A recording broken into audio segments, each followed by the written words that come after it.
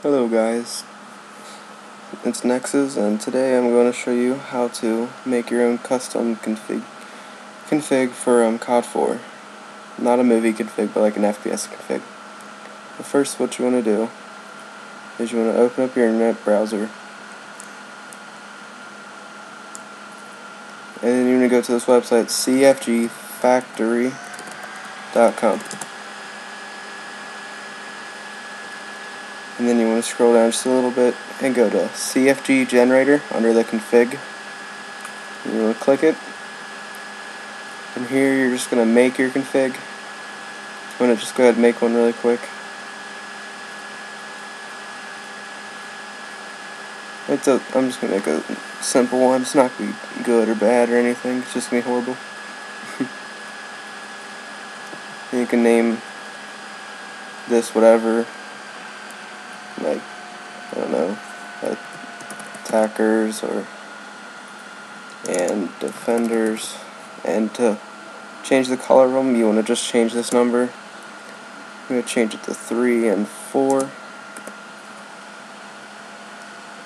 and here's the console tab.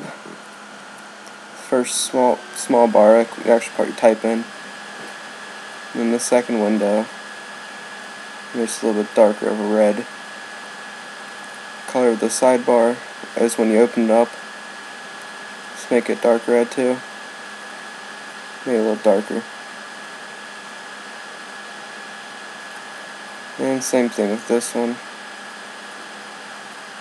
And the full console. You can just make that just red. And now here's for the ping, the actual connection.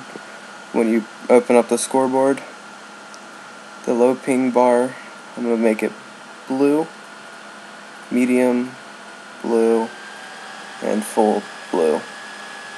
Just so it's not all changed colors and everything. But then if you want to show the ping bars, like um, console, where it shows if you're 3 barred, 4 barred, whatever connection, you want to check yes on this. And show text ping, it's optional, It'll just tell you how much ping you have. And the max bars, so I'm just going to go with 4 draw the FPS, yes. Max 250. You want it in the right upper hand corner. And the lagometer, you'd want that. Decals, no, because you're trying to make it FPS, so you want the worst settings. It's just so you get higher frames. Draw the sun, no. Show blood, yes, because it doesn't make much of a difference. No for client side bullets. Yes, so you can download. Draw the crosshairs, that's optional. If you don't mind the crosshairs, leave them. If you don't like them whatsoever, you can just click no and they won't show up. And then film tweaks, you can click yes or no. I'm just going to leave it on. Gun camo, I personally don't like it. So, I'm just going to leave it off. Scoreboard, I just leave it as normal. And the FOV, I'd rather have it 80 because it, I don't like it all pretty much zoomed in.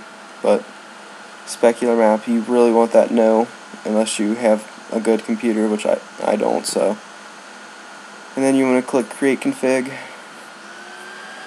You know, then it'll bring you right back up. You click download config. And what you're going to do is you're going to um, copy this whole entire box. You want to go back to your desktop. You want to create a new text file. And you're going to name it whatever you want. I'm just going to name it config.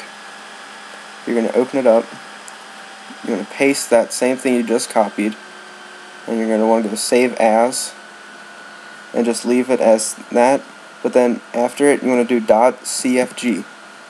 And then you want to save it as all files. And then when you save it, here you have your config file right there. And then you're going to go up to your wherever your COD4 directory folder is you want to open it up. You want to go to Players. And you want to find the profile you want. I just have this random profile.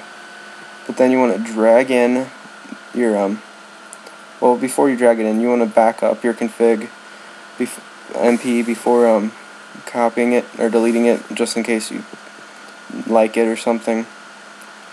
So I'm just going to paste it back here and then you're gonna want to drag this one in here delete the original after backing it up. Then rename this to config underscore mp. And you want to enter it. Okay, and then I'm going to open up Call of Duty 4 now.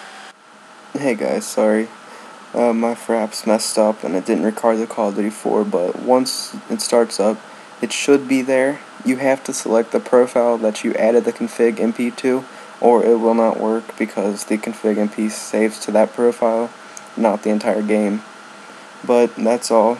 Uh, please comment, rate, and subscribe. Thanks.